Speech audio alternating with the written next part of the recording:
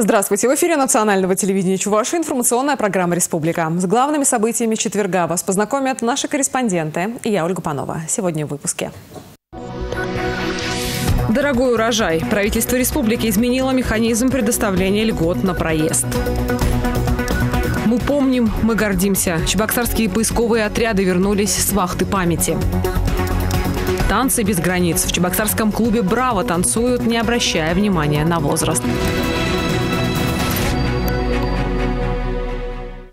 Строительную индустрию стимулируют государственные заказы. В Чувашии сейчас реализуется целый ряд масштабных программ. В муниципалитетах возводят детские сады и жилые дома для переселенцев из ветхого жилья. Сегодня глава республики отправился на строительные объекты с инспекцией. Особое внимание Михаил Игнатьев обращал на качество работ. Тему продолжит Дмитрий Ковалев. В детском дошкольном учреждении поселок Альгешево нуждается давно. Этот микрорайон развивается быстрыми темпами. Здесь проживает большое количество молодых семей. Сколько детей сегодня с этого микрорайона э, по разным причинам им приходится вывозить другие садики? Приблизительно 150 тысяч. 150. Где 400 мест будет. Хотим на 340 выйти. 340? Да. И с этого микрорайона практически дети с какого периода попадут сюда? А трех лет-то закрываем. И садик пустовать не будет? Нет, Хотите нет, сказать? садик не будет пустовать. Ну, по рождаемости, как сейчас идет здесь? Здесь же в основном все равно молодые семьи. Да, рождаемость высокая. Современный здесь. микрорайон. Глава республики отметил, что строительство объекта должно завершиться в отведенные сроки. Отставать от намеченного графика сейчас недопустимо. 1 августа я там посмотрел. Нет, Объект должен быть сдан в эксплуатацию. Аккуратно все должно быть, чтобы дети, приходя сюда, радовались. Подрядчики уверены, что с поставленной задачей справятся. Основные работы уже завершены. Сейчас здесь устанавливают окна, штукатурят стены и прокладывают коммуникации. В детском саду намерены открыть музыкальные и спортивные залы, а также оборудовать бассейн. Глава региона потребовал использовать для отделки только материалы высокого качества. Экономить на детях недопустимо. Я подъехал сразу, материал посмотрел, что за материал. Так что если на самом деле по сертификату не тот, который в проекте заложен, снимите и переделайте пускай. Потом, потом, когда садик введен в эксплуатацию, вам придется мучиться. Вообще, в этом году в столице республики построят 4 детских сада. До сентября необходимо реализовать и другую масштабную программу. Сейчас столица региона возводят новые дома для переселенцев из аварийного жилфонда. В этой многоэтажке по улице Богдана Хмельницкого новоселье отметят порядка 200 семей. Каждый день строители совершают своеобразные рекорды. Задача действительно амбициозная. Этот жилой дом должен быть сдан уже в августе. Работа налажена в три смены. Тут все двухкомнатные и четырехкомнатные. Семьи большие есть. Сейчас в Чебоксарах реализуют четвертый этап программы. Из бюджета на строительство домов было выделено более 1 миллиарда рублей. Подрядчики говорят, что гарантированный госзаказ стимулирует развитие индустрии. В условиях кризиса, конечно, наблюдается в строительной организации тоже некоторая недозагруженность. Коль программа существует, коль надо ее в сжатые сроки выполнять, мы за нее взялись и порешили для себя так. Давайте лучше мы более напряженно поработаем всем коллективом, этот период. Ну и люди будут более напряженно, не расхолаживаясь, работать полностью. Программу ликвидации аварийного жилья республика выполняет успешно. В 14 муниципалитетах работы завершены. Хотя условия они непростые, и те подрядные организации, которые на самом деле публично ответственно работают, для них этот все-таки инструмент, я сказал, удержания, стимулирования. Если взять регион Приволжского федерального округа по первому кварталу, Семь регионов только дали с плюсом динамики, в том числе Чувашская республика.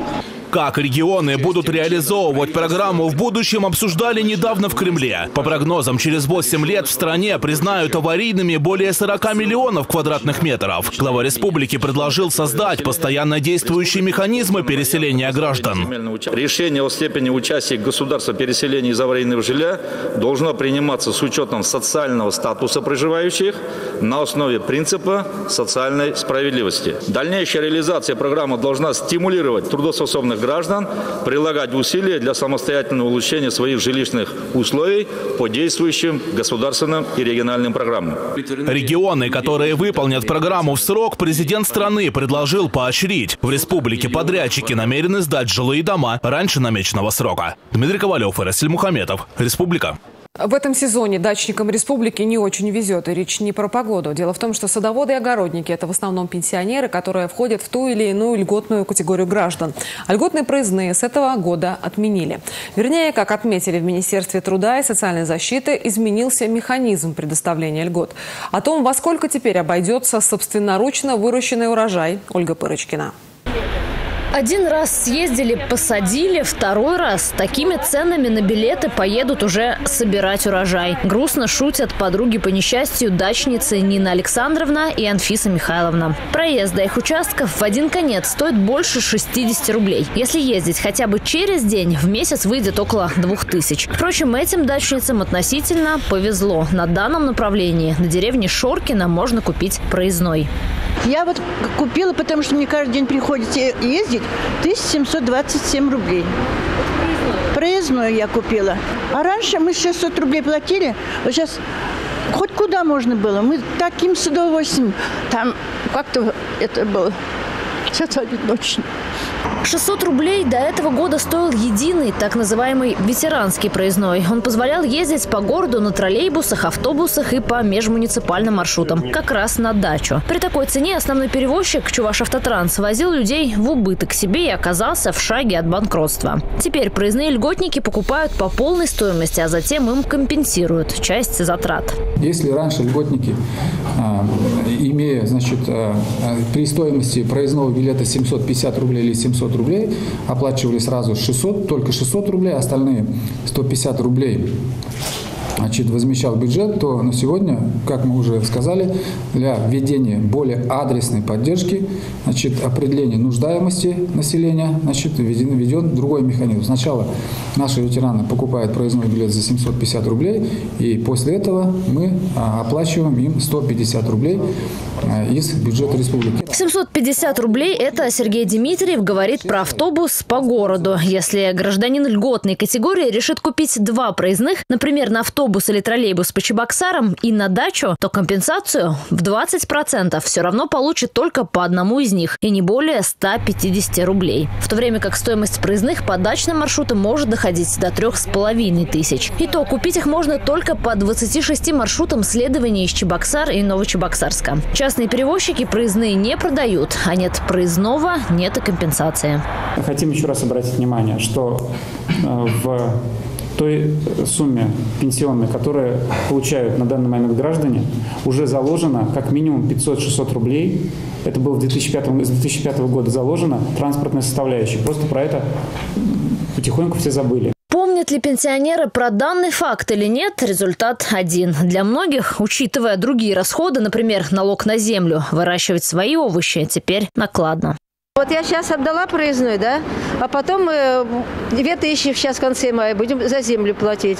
5 тысяч за месяц, да я на базаре с головкой все куплю. Так или иначе, главная задача Минтранса – обеспечить перевозки, чтобы люди физически могли добраться до той или иной точки республики. В убыток ни одна компания пассажиров возить не будет, а значит, чтобы автобусы не перестали ходить совсем, жителям придется изрядно опустошить свои карманы. Из хороших новостей. С 1 июня можно будет купить проездной на пригородный железнодорожный транспорт.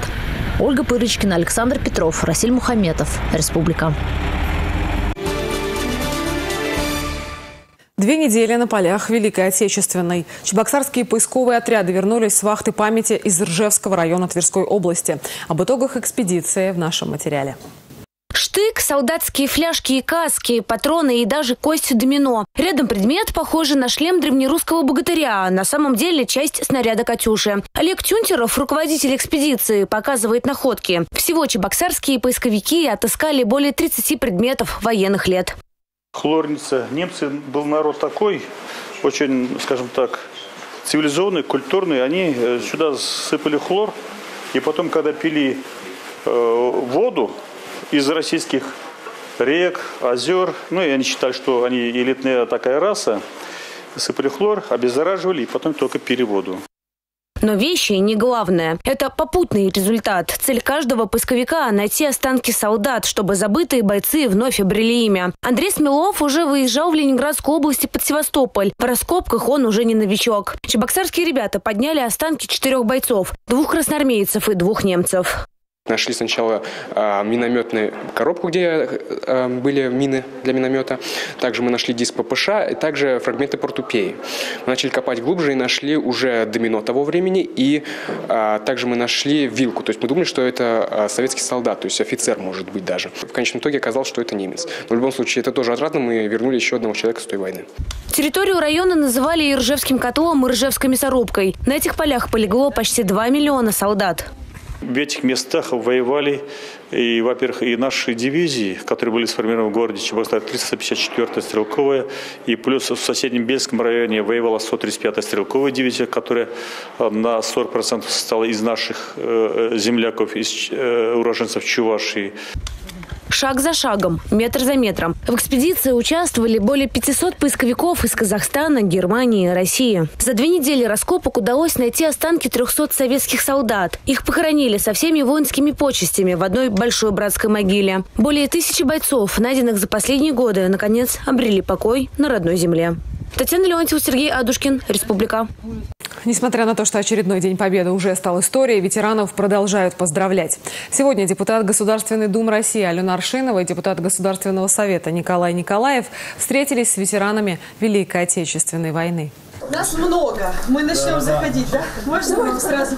Руку пожать вашу мужественную. Говорят, вы на Северном флоте служили? Да. А мы с подарками. Разрешите вас поздравить с прошедшим Днем Победы, с самым замечательным, самым славным праздником. Гвардия старшина Мария Кожевникова служила на Северном флоте, награждена орденом Отечественной войны второй степени медалью за оборону советского Заполярья. Удостоена звания отличник военно-морского флота. Я участвовала, весь народ советский. Не зря был призыв. Поздравили с Днем Победы и супругов Георгия Савинова и Антонину Янаслову. Георгий Иванович дошел до Берлина. Антонина Ивановна воевала в составе 324-й дивизии, сформированной на территории Чувашии. Была телефонисткой. Участвовала в боях на Курской дуге. 9 мая, День Победы. Это национальный праздник. И очень важно делать все возможное, чтобы наши э, исторические факты не искажались. И очень важно э, сделать все возможное, чтобы не переписывалась история. У нас есть живые участники войны, которые сами, вне зависимости от того, что им многим больше 90 лет, встречаются с молодежью, встречаются со школьниками, рассказывают о своих подвигах. Ведь многие медали, а, которые они носят на своей груди, за каждой этой медалью стоит подвиг, своя история, которую должны знать. Мы слышали истории, как тяжело не просто было детям, 12-13 лет работали в тяжелых условиях. И э, у меня в семье оба дедушки тоже принимали участие в Великой Отечественной войне. Оба получили ранения. Конечно, для нас это большой семейный, самый главный праздник страны. В МВД республики вспоминали и чествовали своих героев Великой Отечественной, сотрудников органов внутренних дел. Министр Сергей Неяскин и председатель Совета ветеранов Михаил Киселев лично поздравили одного из фронтовиков. Архип Илларионович Илларионов в этом году День Победы встречает на больничной койке. Он проходит лечение в госпитале, но поздравления принимает. Дорогой ты мой, да. Здравствуй, наступающим праздником, дорогой ты мой. За плечами Архипа Илларионовича война и годы службы в стрелковых войсках. Он награжден Орденом Отечественной войны 1941-1945 годов второй степени, Орденом Красной Звезды и многими медалями за победу в войне. Отмечен труд Архипа Илларионовича и в мирное время. У ветерана немало ведомственных наград и почетных грамот. Вот мы дарим одно. Это памятная книга сотрудников органов внутренних дел. 41-45 годы, кто был в системе МВД. А, пожалуйста, Несмотря на солидный возраст, фронтовик и сегодня крепок духом и хорошо помнит свои военные будни, о которых за чашкой чая он рассказал почетным гостям. Также министр внутренних дел Чувашии вместе с членами общественного совета и ветеранами ведомства почтили память тех, кто погиб на полях Великой Отечественной войны. Они возложили цветы к памятнику в сквере защитников правопорядка, а также у монумента воинской славы в Парке Победы. В детском технопарке «Кванториум» состоялась региональная олимпиада по 3D-технологиям. В ней приняли участие более 60 школьников со всей республики. Соревнование проходило по трем направлениям – научно-техническое творчество, художественное творчество и компьютерное 3D-моделирование. Тематика заданий была посвящена 72-й годовщине Великой Победы. К выходным синоптики обещают повышение температуры, а это значит, что многие жители республики выберутся на природу. И самая распространенная для них опасность по весне – это клещи. Их боятся, от них пытаются защититься, о них много говорят, но мало знают. Сегодня мы попробуем рассеять самые распространенные мифы о клещах. Миф первый. Все клещи опасны. Это не совсем так. В мире насчитывается более 40 тысяч видов клещей. Переносчиками опасных для человека вирусов являются только два – таежный и лесной европейский. При этом и они не всегда заражены. Не специалисту в этом трудно разобраться. Установить вид клеща и оценить его опасность могут только в специализированной лаборатории. В прошлом году было всего исследовано наш, от лаборатории Центра генэпидемиологии более 1600 клещей. Из них 1500, э, чуть более 1500 э, были именно сняты с людей. Около 30 клещей уже они уже исследовали на вирус клещевого энцефалита. Ну, соответственно, результаты на сегодняшний день отрицательные. Миф второй. Клещи переносят только энцефалит. Это, конечно же, не так. Таежные и лесные европейские клещи переносят около семи опасных заболеваний. Стоит отметить, что самый страшный из них энцефалит жителям Чувашии не грозит. За всю историю наблюдений в Чувашской республике нет одного, ни одного случая своего заражения клещевым энцефалитом. Они могут быть у нас только завозные. Ближайшие наши соседи, у которых есть такая проблема, наверное, это Ижевск.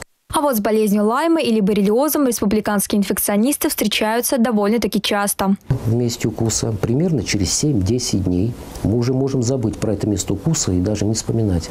Вдруг появляется опять какая-то болезненность, жжение и появляется красное пятно, папула. Это пятно затем увеличится в размерах. Вот это местная форма кожная, первичная. Если мы с вами это заболевание нашли, вот, как говорится, диагностировали вот, на этой кожной форме, и оно очень хорошо лечится. Третий. Клещи живут на деревьях и прыгают на жертву с высоты. На самом деле клещи очень боятся высоты. Чаще всего насекомые прыгают на жертву с травы. Когда мы с вами попадаем в лес, самка нас уже чувствует за 10 метров. Мало того, то есть она не в ожидательной позиции, то есть она преследует нас. И этот процесс вот поиска вот этого места для укуса, он продолжается обычно от 40 минут до часа. Четвертый. Клеща легко удалить с помощью растительного масла.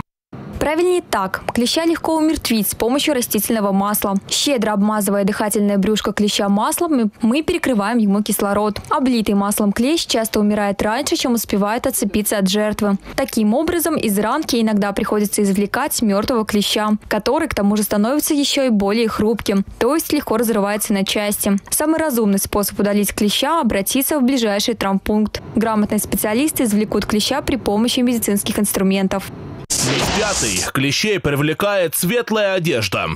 В действительности органы зрения клещей организованы слишком примитивно, чтобы разбирать цвет. Поэтому следует честно признать, клещи нападают на всех без исключения. Защитить от них может только грамотно подобранная одежда. Надевать противогаз и общевойсковой защитный костюм совсем не обязательно. Достаточно вместо майки надеть куртку, а вместо шорт спортивные брюки. Обязательно, чтобы на одежде были такие манжеты, чтобы клещи не могли проникнуть под одежду. На голову обязательно нужно надеть косынку. Дарин, по мне кто-то ползет. Дарина Игнатьева, Олег Якимов, Сергей Адушкин. Республика. Танцы без возрастных границ. В клубе «Браво» этому искусству готовы обучать и молодых, и тех, кто находится в элегантном возрасте. И делает это уже 10 лет. Коллектив готовится отмечать юбилей, как всегда, на сцене.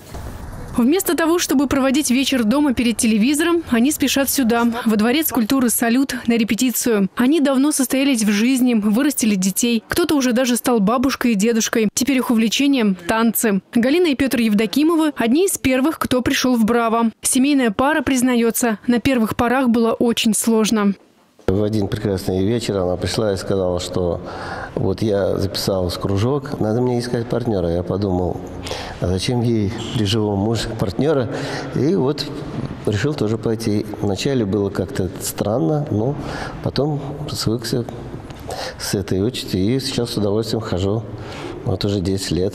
Первое время было просто как мы притирались друг к другу, как совершенно чужие люди были. Дома мы репетируем.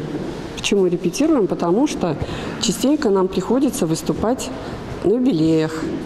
Нас приглашают в деревню, выступить на концерте сельском. Мы с удовольствием спеть и танцуем. Жизнь только начинается на пенсии, когда ты можешь заняться тем, чем ты хочешь. А вот Николай и Елена Бариновы начали танцевать благодаря своим детям. Нас на танцы привела дочка. Если родитель детей приводит, нас дочка привела. Она занималась у Сергея Игоревича, а сама выросла, а мы остались. Иногда хочется бросить, а потом думаешь, ну, в это время будешь лежать перед телевизором. А когда идешь на танцы, во-первых, мы двигаемся, во-вторых, хочется оставаться молодыми, красивыми. Со своими подопечными Сергей Яруткин разучивает те же танцы, что и с детьми. Никаких скидок на возраст. На репетициях требует, чтобы каждое па выполняли правильно. Растянули спиночки. Главное, а, не забудьте, что вы артисты. Да? Вы не для себя только танцуете, вы на сцену выходите. Поэтому зритель хочет красоту видеть. Зато его возрастные танцоры могут похвастаться тем, что танцуют все от венского вальса, танго, квикстепа до самбы, ча-ча-ча, румбы и джайва. Мужчины разучили даже специфические танцевальные движения в стиле Майкла Джексона. Причем балетмейстер отмечает, что медали, кубки, грамоты не самоцель. Главное, чтобы танцы приносили удовольствие. У меня цель была э, сплотить коллектив, чтобы они могли сюда ко мне прийти, э, отдаваться всей душой танцу, и благодарить себе и Богу, что они этим могут заниматься. Так что юбилейный концерт станет еще одним подтверждением, что возраст танцам не помеха, и свое здоровье можно укреплять и в вихре движений. Галина Титарчук, Олег Якимов, Республика. Таким был этот четверг глазами корреспондентов программы «Республика». Наши новости можно увидеть на нашем сайте и в социальных сетях. Увидимся в эфире национального телевидения Чуваши уже завтра.